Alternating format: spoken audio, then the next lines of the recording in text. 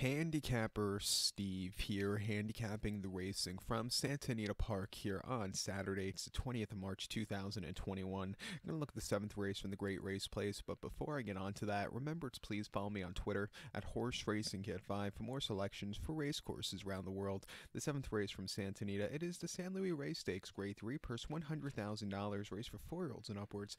We have a field of five horses going to the Hillside Turf Course, the distance of ground of 2,400 meters.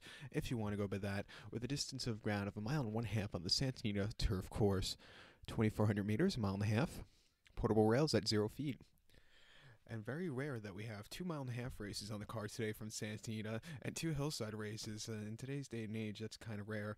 But um, this race has a good history in it. Um, years ago, when the Santa Anita spring meeting, winter spring meeting, used to go from uh, the day after Christmas until April, mid-April, late April. I used to always have the uh, the older turf series used to be always the San Gabriel, which would go into the San Marcos, which would go into the San Luis Obispo, which would go into this race, and then end off with the San uh, Juan Capistrano.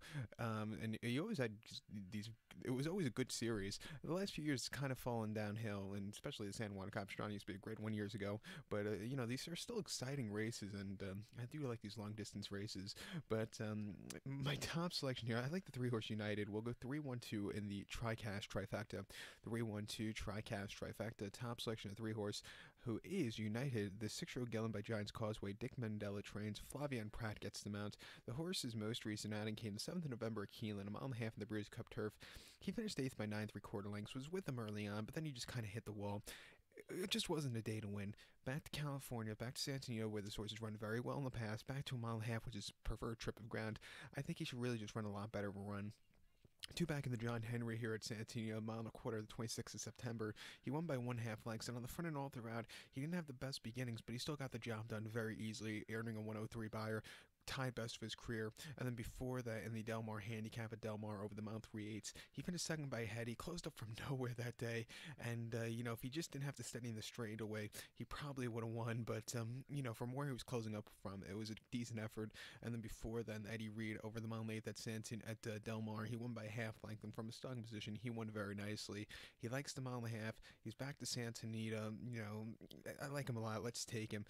Something I do like about his um, workout patterns, he had a workout two back, one mile and one eighth workout and 152 and two. You don't see that very often, but um, you know, six to five, he's a very likely winner. You, you can't throw out the one horse acclimate either. Um, the seven year by acclamation. Phil D'Amato trains. Tyler Baze gets the mount. Most recently, they ran the horse in the San Marcos here in February, where he uh, placed that day behind. Um, Master of uh, Hounds, who just ran that very good race from the starting position. But two back, the horse ran very good in the Turf Classic. And then before that, you know, off a long bench in that Hollywood Turf Cup, I didn't think he ran half bad. Back to a mile and a half. At 4 to 1, he's another very likely winner. We'll definitely use him in the multis. But to recount my selection for the seven from Santa Anita, it's San Luis Rey. Let's take three horse United, give kudos to the one horse Acclimate.